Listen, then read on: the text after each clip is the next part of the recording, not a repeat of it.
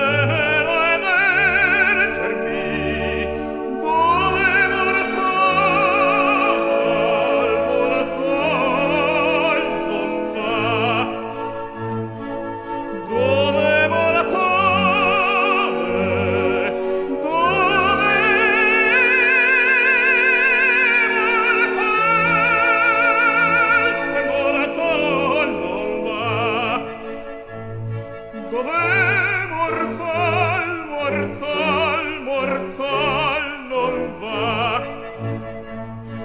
Bye-bye.